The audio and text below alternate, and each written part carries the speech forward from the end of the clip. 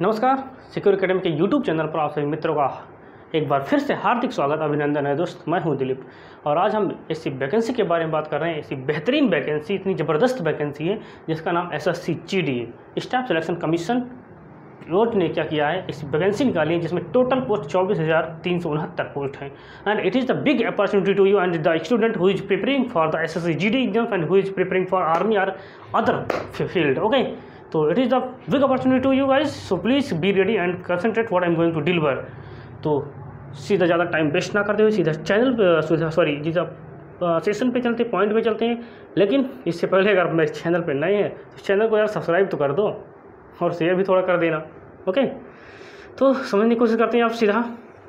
Figure देखिए, इस इस चित्र में देखिए क्या दिया गया है। दिया गया है तो क्लियरली विजुअल है कि इस सीजीडी ने वैकेंसी निकाली इसमें टोटल पोस्ट कितना दिया गया है? चौबीस हज़ार तीन सौ उनहत्तर पोस्ट दिए गए हैं और ये वैकेंसी जो है, इसमें आपको सत्ताईस तारीख से आपका ऑनलाइन फॉर्म चालू हो गया। अगर जो फॉर्म फिलअप करना चाहते हैं, वो फॉर्म फिलअप चालू हो चुका है। 27 अक्टूबर से फॉर्म फिलअप चालू हो चुका है। इसकी लास्ट डेट आप देख ही रहे हैं। इसमें 30 ग्यारह 2022 तक आपका लास्ट डेट है। ओके और जो आपका एग्ज़ाम है, वो आपको एग्ज़ाम जनवरी में होने को आसार लग रहे हैं। ओके टोटल फ़ीस जो जनरल कैटेगरी के हैं ओ बी सी हैं ई डब्ल्यू एस के उनके लिए हंड्रेड रुपीज़ फ़ीस लग रहा है, और जो एस टी कैटेगरी से बिलोंग करते हैं एस टी कैटेगरी से बिलोंग करते हैं, उनके लिए फ़ीस ज़ीरो दिया गया है, उनके लिए मतलब एग्जम्प्टेड है फ्री ऑफ़ फ़ीस तो इस तरह से।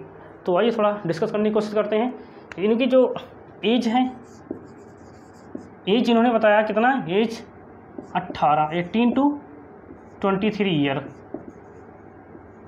years age इतने बीच में होनी चाहिए? जो एग्ज़ाम बेस्ड हैं, एग्ज़ाम कैसा होगा? सी बी टी बेस्ड होगा। मतलब computer based test. Computer based based test.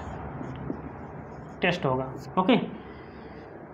और जो अगर हम बात करें किसकी, बात करें तो हम एज लिमिट की, एज लिमिट की बात करें इसमें जो एस जनरल के लिए हैं, जनरल के लिए सेम सेम ईयर फॉलो करेगा।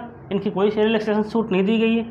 अगर हम बात करें कि ओबीसी के बारे में एस के बारे में बात करें तो एस की जो छूट पाँच साल के रिलैक्सेशन दिया है। रिलैक्सेशन है ओबीसी और and ex service service man के लिए क्या है?